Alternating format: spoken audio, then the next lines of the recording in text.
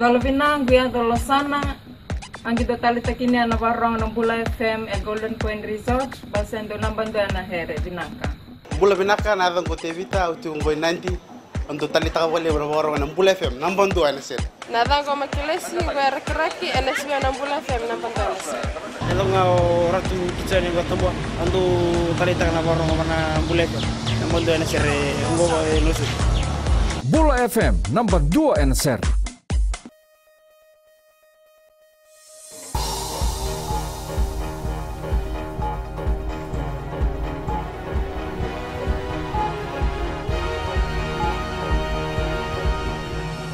Evening. This is FBC News. I'm Amrit Priyadarshini. In the news tonight, majority schools to resume classes from tomorrow. And the New Zealand Defence Force ship arrives with aid and military personnel.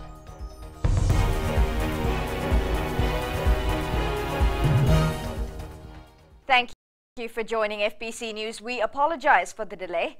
But first up, a 26 year old man is in critical condition after he accidentally touched a live wire. The electrician was working on an electric pole at Natabua Housing in Lautoka when the alleged incident happened. Divisional Police Commander West SSP Marika Yalimai Y told FBC News Vilive Nayambo suffered severe burns and is admitted at the Lautoka hospital. It is believed Nayambo was working on broken power lines when he got electrocuted.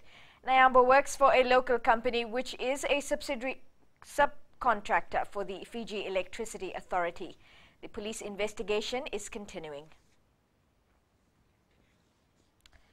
Majority of schools will resume classes from tomorrow. In the aftermath of tropical cyclone Winston, government is working hard to get students back in the classroom. Farzana Nisha reports. schools which have Education Minister Dr. Mahendra Reddy says all schools in the Southern Division and Vanuatu will open from tomorrow. However, some schools in Rakiraki, Tavua and Ba Corridor will open from the 7th of March. Dr. Reddy says schools in the Eastern Division, which includes Koro Island and the Lomaiviti group, will take some time to resume classes. Some schools have sustained severe damage, making them unsafe for our teachers and students. Parents have been urged to make alternative arrangements for their children if their schools are not reopening. For safety reasons, it is important that your children remain under adult supervision during the day. The Ministry of Education will supply regular updates on the progress of schools under repair and is exploring temporary solutions for affected areas. A complete list of all schools that are opening from tomorrow can be obtained from today's Fiji Sun. Farzana Nisha, FBC News. New Zealand Defence Force ship HMNZS Wellington arrived at the Suva port today with aid. The ship also has 71 military personnel on board who will assist in disaster relief efforts. Sainiani Boila toured the ship and files this report.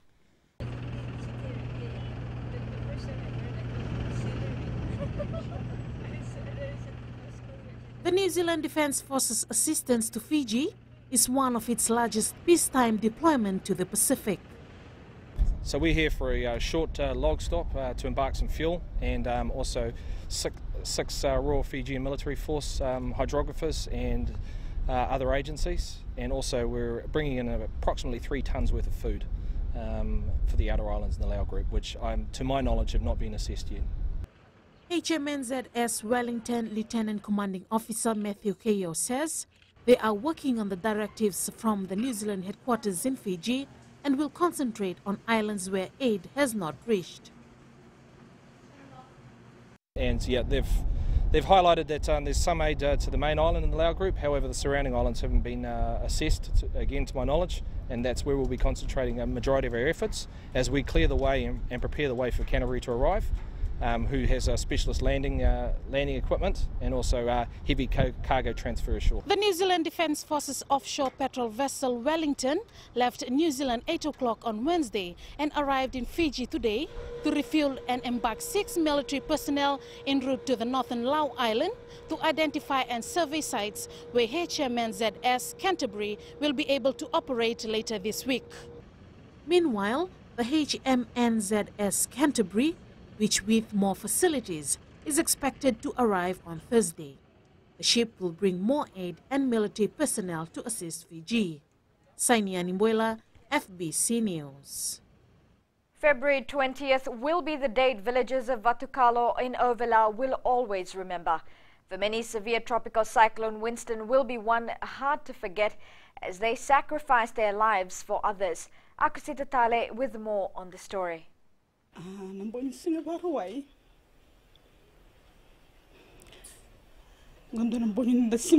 Wiki mamnya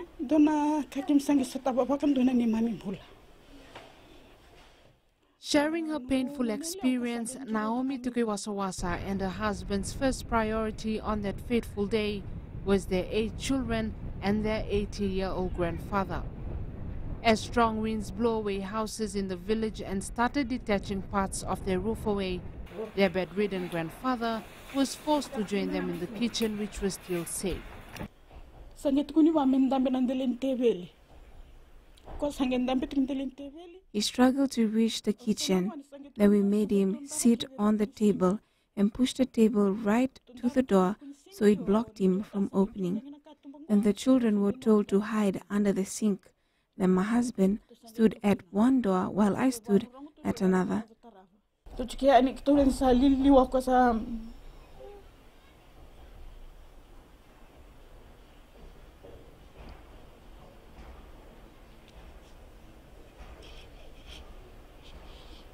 Satu kun mesa antumu wana ibiu.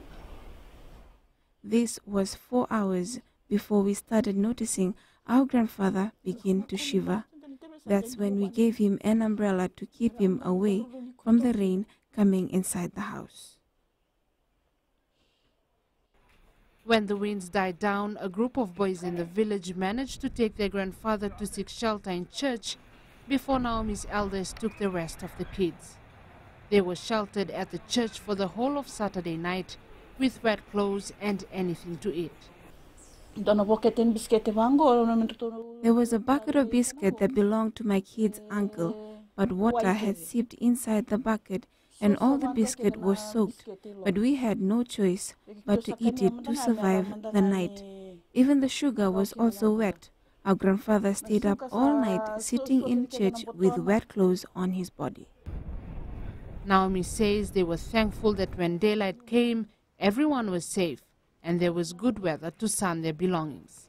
Akusita Tale, FBC News. No houses were spared in Nao village on Ovalau after tropical cyclone Winston swept past its coastline at around 3 p.m. last Saturday. As Akusita Tale reports, strong winds damaged and destroyed all the houses on the village. This is what tropical cyclone Winston has left behind for the 23 families of Nauoua village. These houses could not stand winds of up to 300 kilometers per hour, leaving no options for villagers but to take shelter in toilets, bathrooms, and culverts. Village steward Isimeli Lati, while sharing his story with FBC News, says the youngest was a three month old baby. I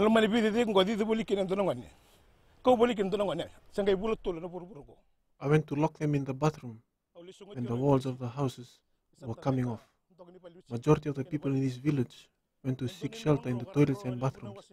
A place where only one goes for a few minutes was now filled with around 15 people for hours during the strong winds, including a three-month-old baby and the other children.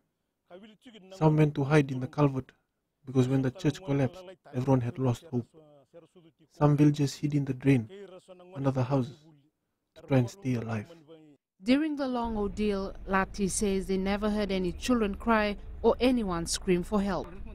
However, the strong winds claimed the life of 72-year-old Selai Wanga when a beam of the church fell on her.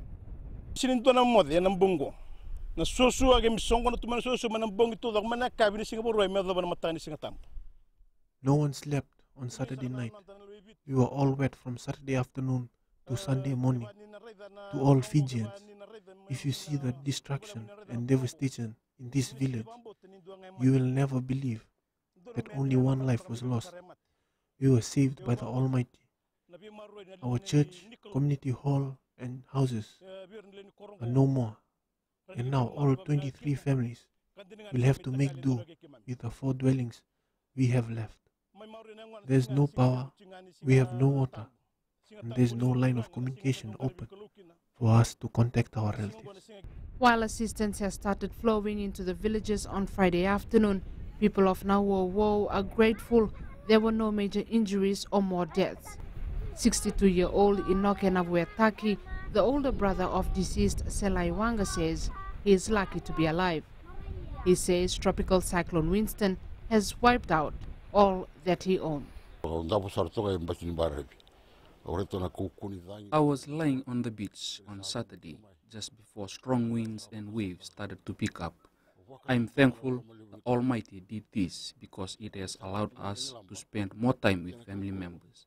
Because before our wealth and started separating us from the rest of our family. This is the new beginning for us to start from the basics. More than 100 villagers had to seek shelter at this village church before strong winds brought the structure down and left a mark, which all on the island will never forget. Akusita Tale, FBC News. After the break, we have more stories of people who survived the killer cyclone.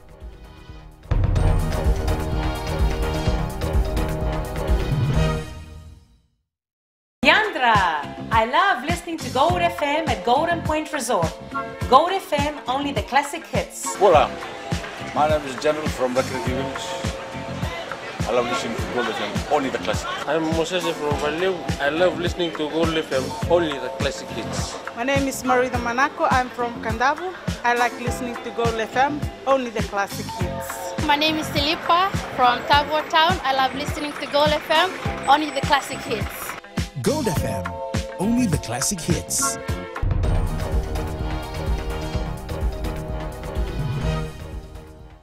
Welcome back here with FBC News. Now, stories of what transpired on that awful night when severe tropical cyclone Winston hit Fiji continues to be shared. It's almost a week now, but memories of the dreadful night is still fresh on the minds of those who experienced it. Tokasa Rainima with this story. Waisake Gaungau of Nambuna village in Tavua was caught by surprise last Saturday as he claims he was unaware of the danger of a severe storm looming over the country.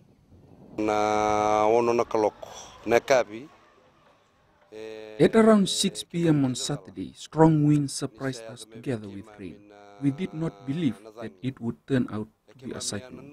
For the first time in Nambuna, at the same time, the village was flooded. I told the villagers not to move around. The roof was blown away and the children and mothers were panicking. Gaugau, who is in his early 50s, says by the time they came to terms with what was happening, floodwaters had already entered the village. Because of the flood, uniforms and school books for our children got wet and washed away. Makiles Raimbe is from the same village but was lucky to make it out in time. I was told by a villager when I came back from Korobo that all the houses were destroyed, even the ones beside my house. On Sunday morning, when I returned to the village, I cried when I saw that the roof and one side of my house was being blown away. However, throughout the ordeal of Tropical Cyclone Winston, she was worried about her son who was left behind in the village. My beautiful house was no longer there. I looked to heaven and cried. I was worried about my son, as I was being told that he had gone to the evacuation center. The Nambona villagers have since taken shelter at Tavua Primary School. Tokasa Rainima, FBC News. A family in Narewa Raki Raki had to seek shelter in an abandoned delivery truck to escape the wrath of TC Winston. FBC News visited the Lata family late last week, where the family still remains in the truck as their family house was damaged by the Category 5 cyclone. Chalindau Dhaka reports. The Lata family has been living in Narewa Ra along the Queen's Highway for over 60 years. Kiran Lata, who is staying with her brother and 76-year-old father Hari Singh, lost the roof of her house and her family belongings were also damaged in floodwaters.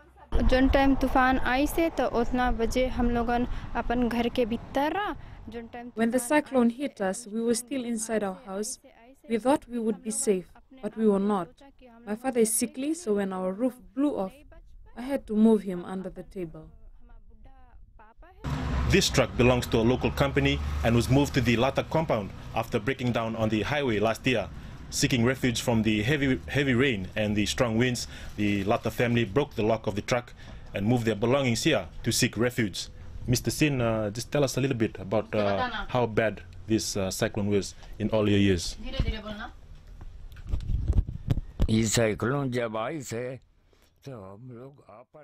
When the cyclone hit us, we were having our dinner but due to the strong winds, we left our food and went under the bed. When the wind subsided, after some time, my brother came and decided to take us away, but we couldn't go. So we opened this delivery truck and we moved inside. Everything was wet, but we stayed here all night. Singh, an asthmatic, says it was a miracle that the damage to his house did not trigger an attack. इतना खुशी है कि मोती भाई के लोरी हमारा I'm happy that this truck was in my compound. The truck has been here since it broke down, and we have been looking after it. I'm very thankful. The Lata family now joins fellow citizens who are contemplating on what the future holds because of the devastation left behind by TC Winston. Talento Takataka, FBC News. Barotu Primary School head teacher Ashishwar Prasad has given $600 to evacuees to clean and clear debris in and around the school. After the Education Minister's visit to the school last week, school head teacher Ashishwar Prasad made arrangements with the evacuees in the school. Sainiani Boila has more. Barotu Primary School head teacher Ashishwar Prasad has given $600 to evacuees to clean and clear debris in and around the school. Now we have geared towards uh, the cleanup, uh, and uh, what I did uh, was the all the people who are in the evacuation center.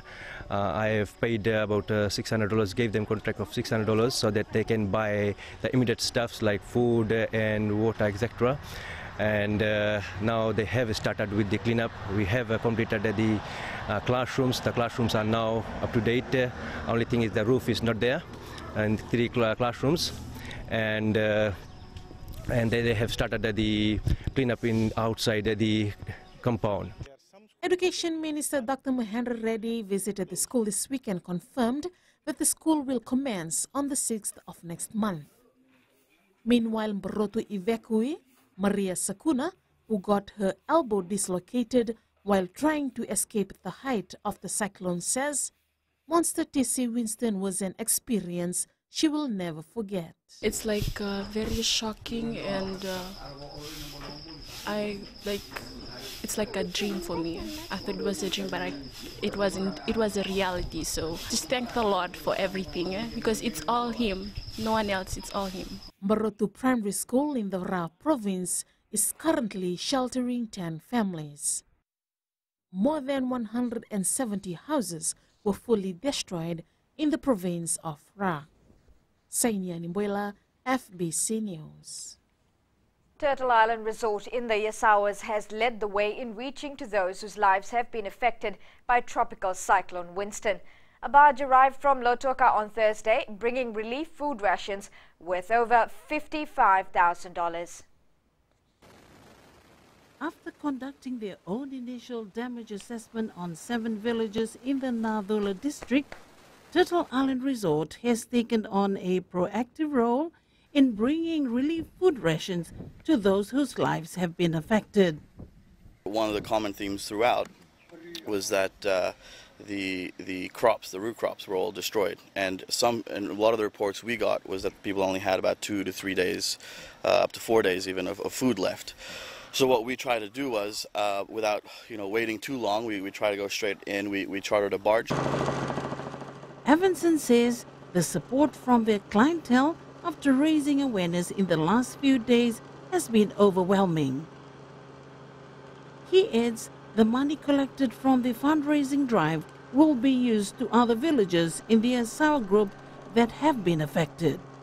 We also, at the same time, in the last 24 hours, put up a um, a fundraising event and, and reached out to all of our family and friends overseas as well as our past guests. And we were extremely appreciative and, and grateful um, and deeply humbled by their support.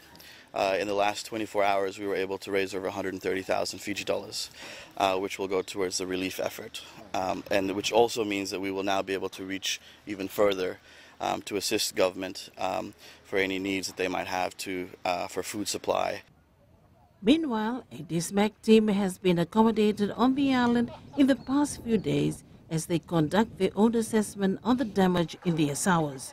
Toka FBC News. Coming up in sports, Fiji Sevens prepares for a tough pull. And drag races come together for a worthy cause.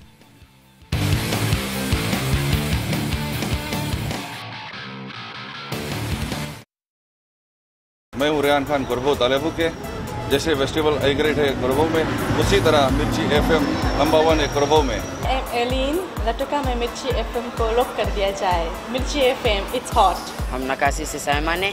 हमारा festival जैसे number one है वैसे Mirchi FM number one है। My name is Dinesh हम नेंडी में काम करता है स्लीपिंग जैन जिपलाइन में। और Mirchi FM is hot I like it Mirchi FM it's hot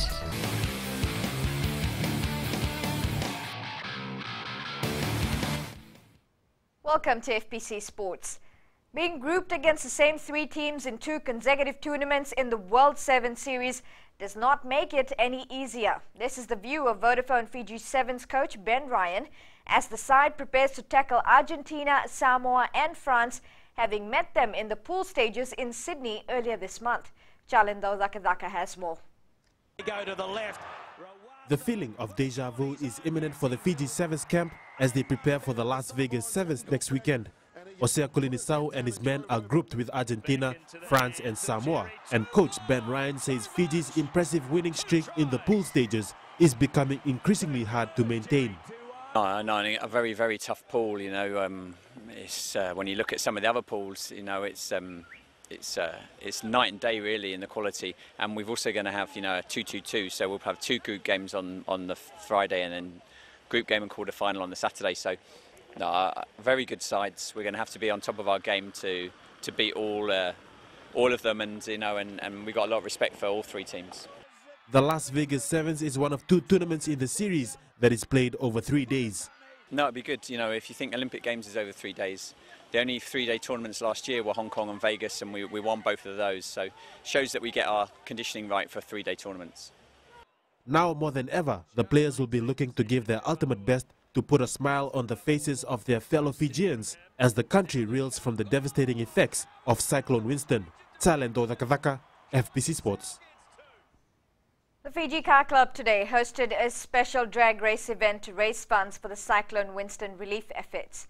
Members had to pay $50 to participate and additional donations were accepted with all proceeds to go toward helping people in need of assistance around the country. Today what we call is a fun day. You know, um, we got a um, few races here and there coming up today. Um, you know, we're charging $50 and also, you know, we're taking our heads around and we collected quite a um, few money today. Um, obviously all um, of this uh, will go directly to the, to the people who have been affected uh, by this cyclone. And obviously, I was there yesterday in Rakiraki town, and it's very bad. So you know, we thought you know just to for the car club community to come together and, and collect uh, for the good cause.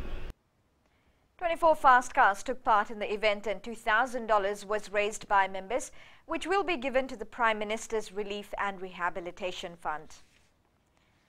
Leonardo Ulloa's 89th minute goal extended Leicester's lead at the top of the English Premier League to five points and denied Norwich a deserved draw. The wins keep Leicester's unlikely title bid on track. West Brom had to work hard in the second half, but enough had been done in the first half to see off Crystal Palace with a 3-2 victory.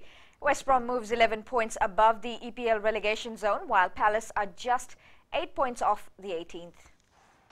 Well, West Ham has also extended their unbeaten home run to 13 games with a 1-0 win over Sunderland, who missed the opportunity to climb out of the relegation zone. Michail Antonio's first half goal, his fifth in 15 starts for the club, proved the difference.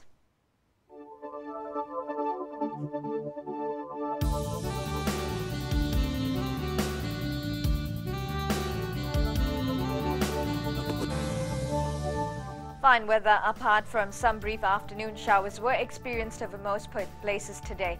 An active trough of low pressure lies slow moving over Tuvalu, Tokelau and extends eastwards to the northern Cooks. Well, it was a hot day. Ba recorded 34 degrees. Nadi and Lautoka were on 33. Labasa experienced 32 degrees. And Suva was on 30. Tomorrow's forecast, brief showers over the eastern parts and interior of the larger islands. It should be fine apart from isolated afternoon or evening showers and thunderstorms elsewhere. And we take a look at Tuesday. You can expect some showers. Recapping the main stories. A 26-year-old man is in critical condition after he accidentally touched a live wire. Majority of schools will resume classes from tomorrow and New Zealand Defence Force ship HMNZS Wellington arrives with aid. And you've been watching FBC News. I'm Amrita Priyadarshini. Good night.